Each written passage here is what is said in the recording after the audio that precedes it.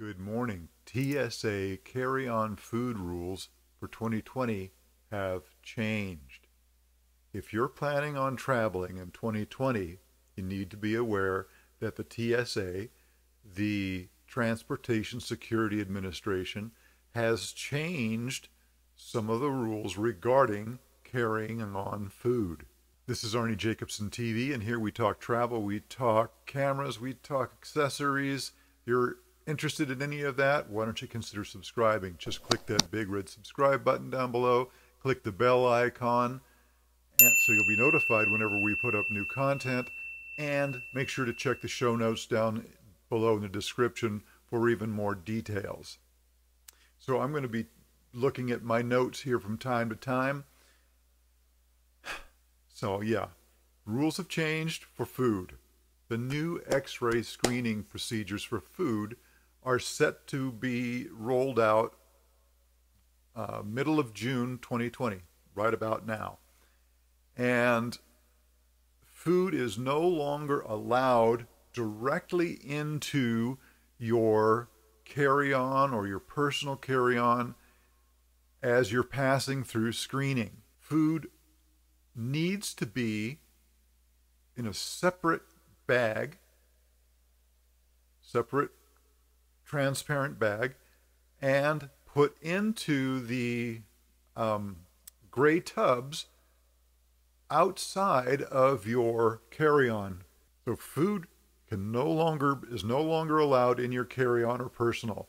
It needs to be separated out from the rest of your carry-on baggage and put into the gray tubs in their own plastic bags.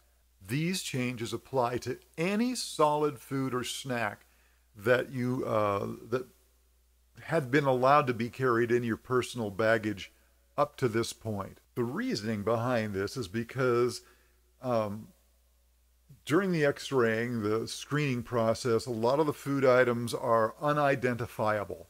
They're just this mass. And that would require the TSA officers to pull you aside and open up the bag and look in there um, each time that occurred. And given the circumstances of COVID 19 and the transmissibility of the virus, obviously that's not something that they want to have happen. So, again, need to make sure that the food items are out of your personal bags in a plastic bag in a bin so it can be seen uh, by itself and you know looked at. What this allows, obviously, is that the screening officers are not going to have to handle your your items as much, reducing the likelihood of transmitting the coronavirus.